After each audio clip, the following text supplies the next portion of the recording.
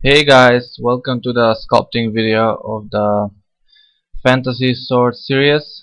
Um, here I imported the, the models uh, in ZBrush and subdivided and now I'm gonna start working on the blade. Uh, I don't really have any specific um, design in terms of what kind of details I want so you're gonna see me experimenting quite a lot like this uh, part now that I'm not gonna keep. Yeah right there. So uh, this this part uh, should be fairly fairly short I believe. Uh, it took me about an hour to to finish the the sculpting.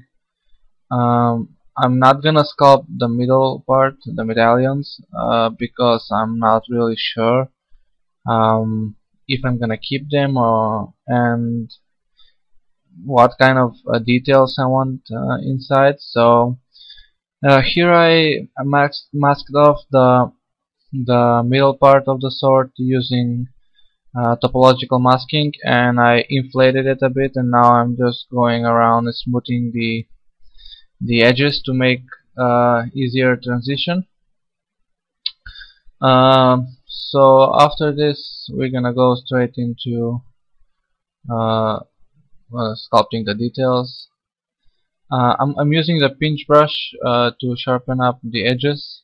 Not too much though because uh, pinch brush it can cause troubles when baking. So use it with caution it's it's a good brush but sometimes can be quite dangerous if you if you overuse it. So here I added new subdivision level and uh, here sharpening the, the, edges.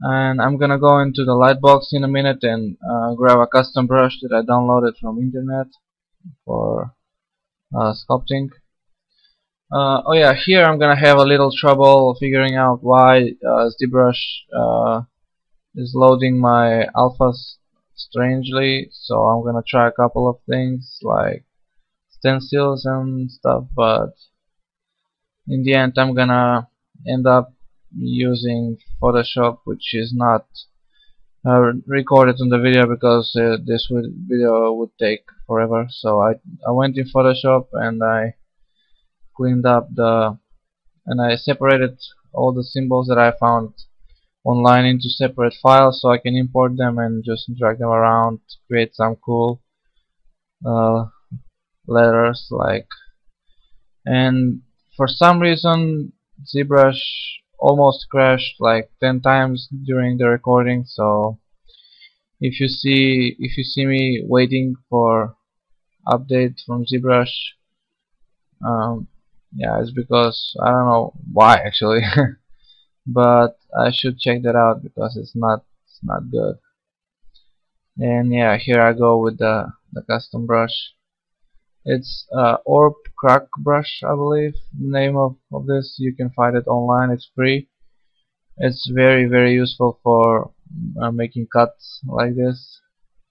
So I'm gonna make I'm gonna beat up the the blade quite a lot. I like to to uh, make it look like it's uh, heavily used. And here I'm adding like maybe scratches of an animal or something like a dragon or I don't know. So yeah here you see the hanging part. So yeah adding more details around the the edges making it look like a rough uh, uh, rough kind of uh, design. I'm not looking for polished. Uh, I, it should be like a brutal brutal used sword. So yeah that's kinda backup story in my mind. And here switching off switching to uh, different subtools. I separated the the mesh into three uh, three main uh, subtools the blade the handle and the medallions in the middle. So uh, I so I can have a you know easier time subdividing and don't have to put a zillion geometry just to be able to pull pull off the details I am going for and here I added uh, quick noise in uh, noisemaker. And yeah so here adding a little bit of a little more of those uh, letters for detail on the upper part of the blade. I'm working off symmetry now just to break you know visually break the the surface uh, for some reason the upper part of the sword the handle uh, the, the Y symmetry was not working. So I'm gonna sculpt the front part and then I'm gonna go in ZBrush in Photoshop after I bake the textures and I'm gonna just duplicate it uh, and move and flip the the map to to the other side. So here I'm gonna use masking to uh, create some custom uh, shapes for detailing which I'm gonna uh, sculpt. Yeah now um, after after I sculpt I uh, yeah after I sculpted this I decided to make it like pinched in the middle and uh, fade out and blend with the with the rest of the handle so as you can see here so I'm smoothing the the edges and leaving the middle part raised. And then I'm gonna go with the clay polish. And I'm gonna clean up the the edges a little bit. So here I'm using move topological. And there you go ZBrush.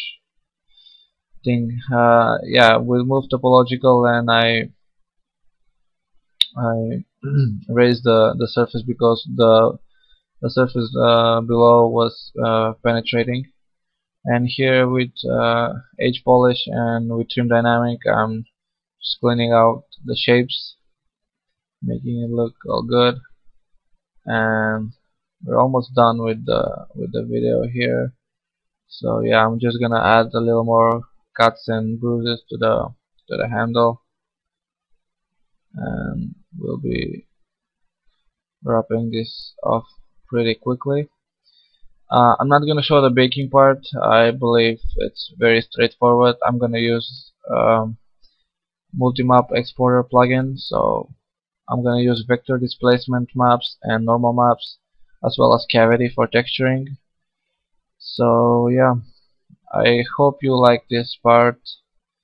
Um, I'm gonna try to do a rendering video in Maya. If I have time I'm not promising anything so yeah. Uh, thanks for watching and take care